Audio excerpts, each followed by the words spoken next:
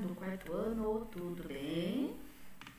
Então hoje nós vamos trabalhar história, né? O Brasil, um país de muitos caminhos. Então nesse capítulo, né, nós vamos estudar como e por quais motivos as pessoas se deslocavam pelo atual território brasileiro.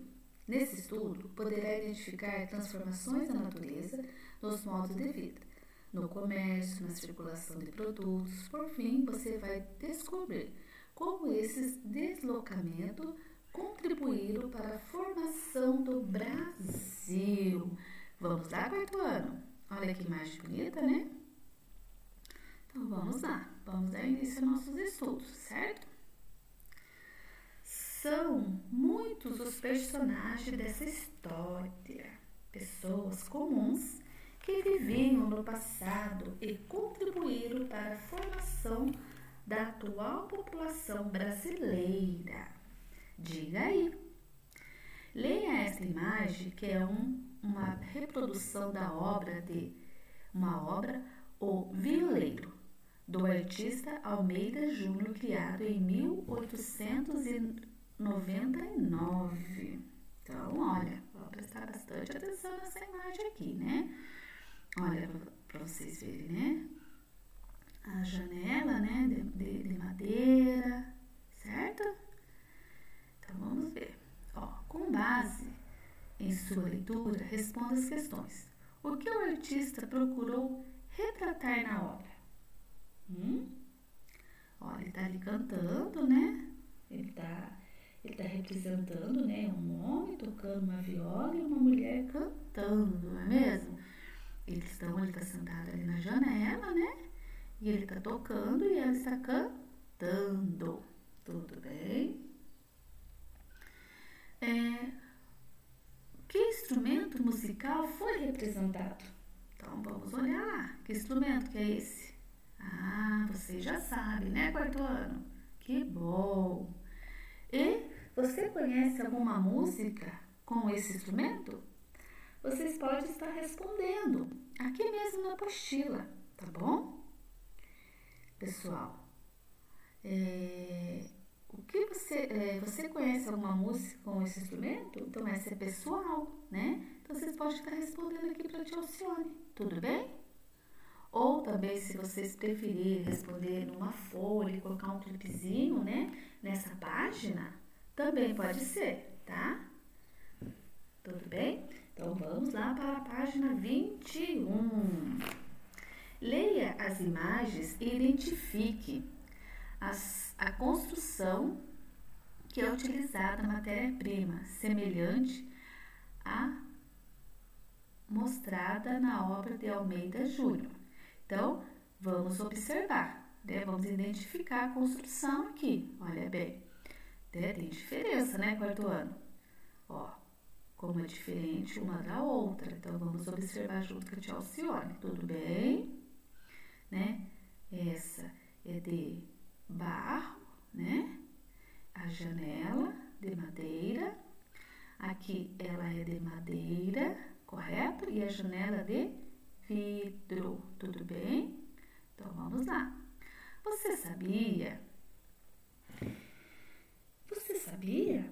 Muitos, muitas no interior paulista, mineiro e nordestino, são feitas de barro. Olha que legal!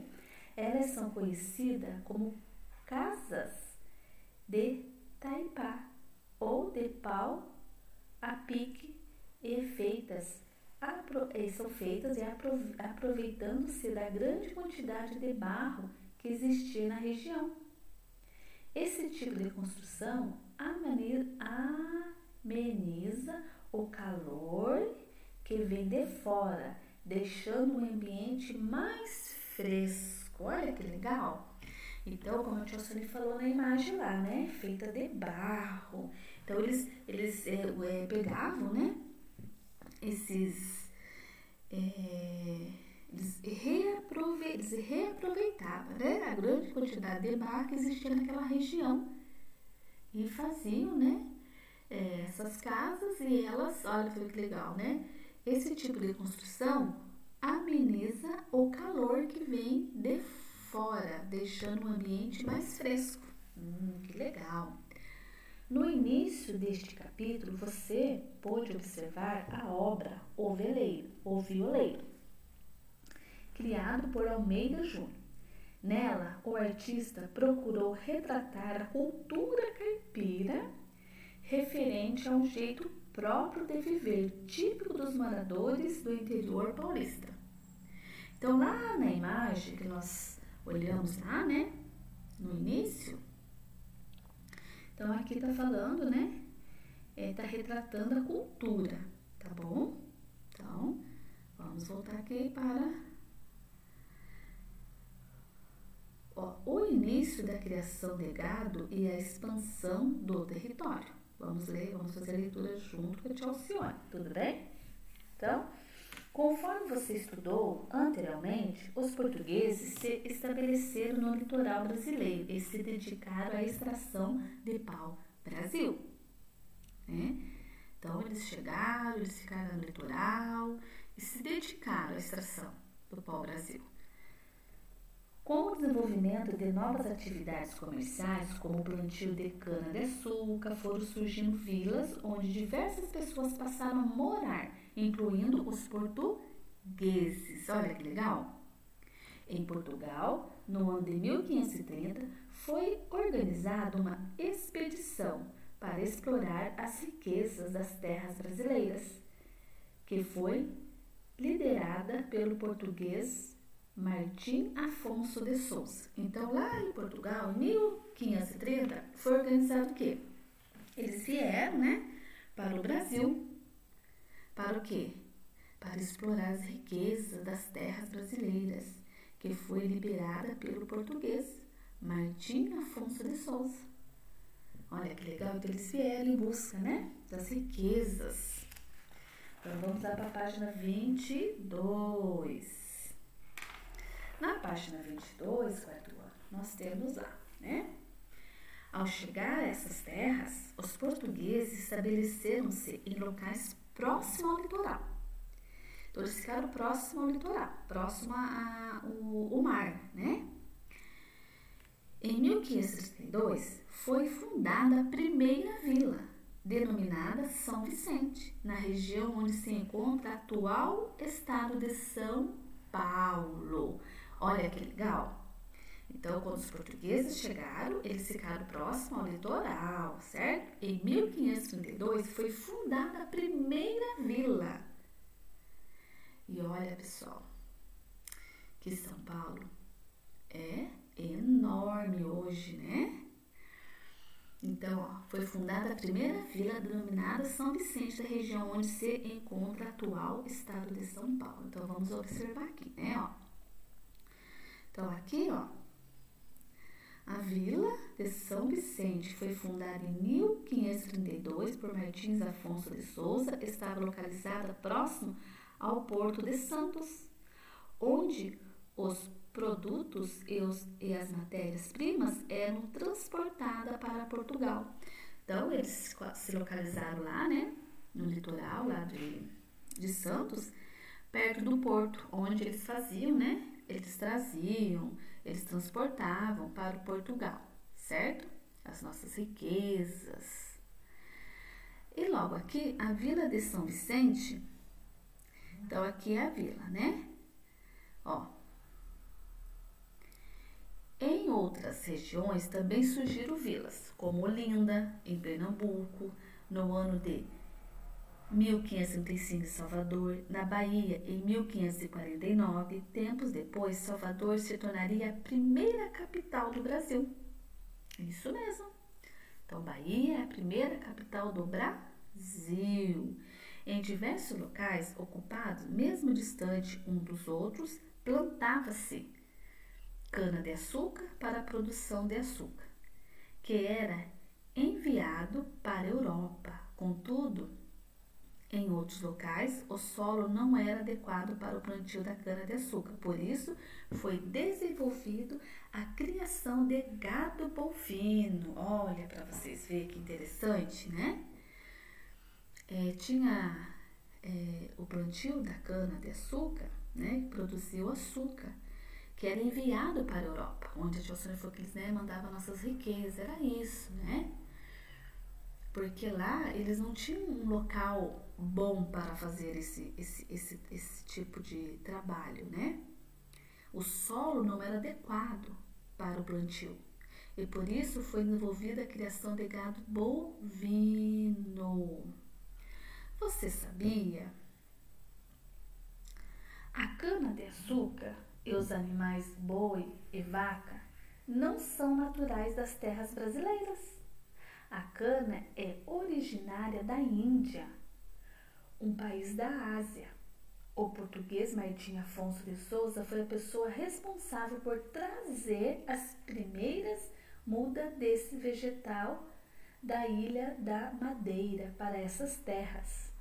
E sua mulher, Ana Pimentel, mandou vir as primeiras cabeças de gado bovino da ilha de Cabo Verde. Olha que interessante. Então aqui nós aprendemos também, né, que a, a cana de açúcar, a cana de açúcar e o, o as cabeças né, de boi, elas não são é, origem aqui do Brasil. Elas vieram, né? Daí elas vieram, é, elas foram trazidas pelo pelo Afonso de Souza e pela sua esposa Ana Pimentel. Olha que interessante. A população, ah, desculpa, a rapadura é um doce feito de cana de açúcar. Um quitute muito comum no Brasil, mas origin, originário das Ilhas Canárias. No Brasil, a rapadura ou raspadura, por ser resistente à umidade, era facilmente transportada até os portos, de onde seguiu para a Europa. Olha que legal, quarto ano. Vamos para a próxima página. Vamos para, vamos para a página 23, tudo bem? Então, lá na página 23, nós temos também umas, umas questões lá para nós entendermos melhor, né? No Brasil, o gado bovino era usado em diversas atividades. Conheça as principais. Então, vamos ver com a tia Alcione. O transporte de pessoas e mercadorias pelo território, movimentação do engenho de madeira, que moía cana-de-açúcar para produzir o açúcar, obtenção de alimentos, carne, leite, queijo, obtenção de couro para produção de roupa, utensílios como embalagens, bolsas e chapéus. Então, no Brasil, o gado bovino era usado em diversas atividades. Conheça essa que a tia Sônia acabou de ler para vocês. Viu que interessante também? Quanta coisa nós estamos aprendendo hoje, né, quarto ano? Então, interpretando. Vamos lá? Você estudou que o milho cultivado pelos indígenas era originário da América Central. Lembra que nós falamos lá do milho no outro estudo? A respeito de outros produtos que fazem parte do cotidiano do Brasil, responda as questões. Na atualidade, são consumidos produtos derivados de vegetais de animais que também são originários no Brasil? A cana-de-açúcar, o gado bovino. Quem for o responsável por trazê-los ao Brasil? Lembra que a tia Alcione explicou para vocês quem que trouxe? Ah, vocês já sabem, né? Lembraram? Muito bem. B. De acordo com as legendas, pinte os quadrinhos para identificar a origem dos produtos indicados. Então, vamos pintar lá, né? O leite, o açúcar, o couro, o queijo, rapadura e a carne. Então, vocês vão estar pintando lá, né? Ah, o açúcar. Orígenas, é ori, vem a origem de qual produto? Então, vocês vão estar pintando de ver, verdinho, né? O couro do boi, então vamos pintar lá de vermelho, tudo bem? E vocês vão estar lendo aqui para Alcione e pintando. Tudo bem, quarto ano? Quais produtos provenientes da cana-de-açúcar e do gado de corte você consome? Então, essa é pessoal, né? Então, pensa aí certinho, tá bom? E nós vamos agora ficando por aqui, tá bom, quarto ano? Espero que vocês tenham gostado da nossa aula de hoje, tá bom? E até a próxima! Tchau, tchau, quarto ano!